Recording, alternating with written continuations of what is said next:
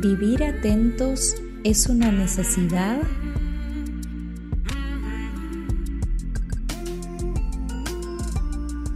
Un niño navegando en su bote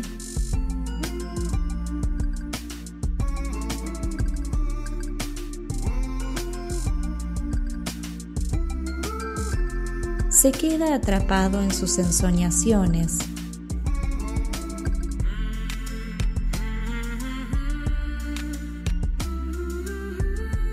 Hasta que descubre, sobresaltado, que está perdido.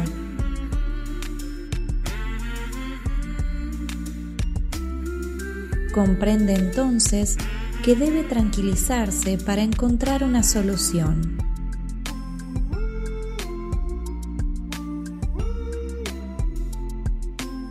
Para ello, atiende durante unos instantes a la sensación de su respiración.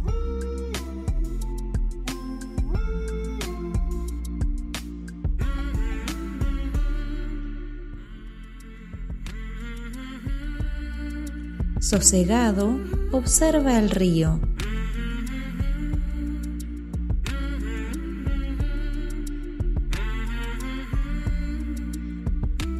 Al no divisar los márgenes, comprende que se encuentra en la desembocadura del río en el océano.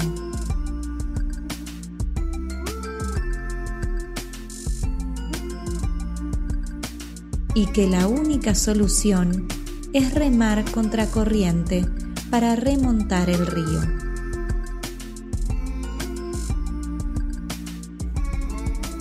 Así lo hace durante tres horas hasta que reaparecen en el horizonte las riberas del río.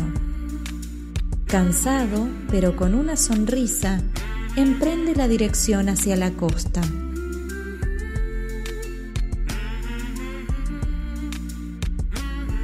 Al imaginar la alegría del reencuentro con su amigo, vuelve a ensoñar, perdiendo la atención a su situación.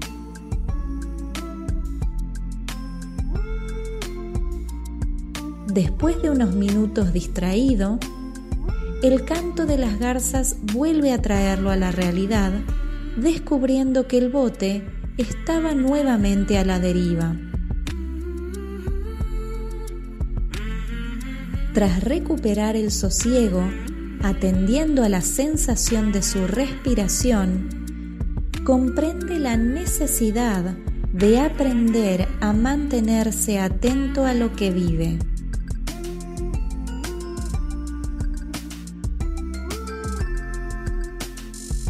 Y que la paz y la salud de su vida dependen de ello.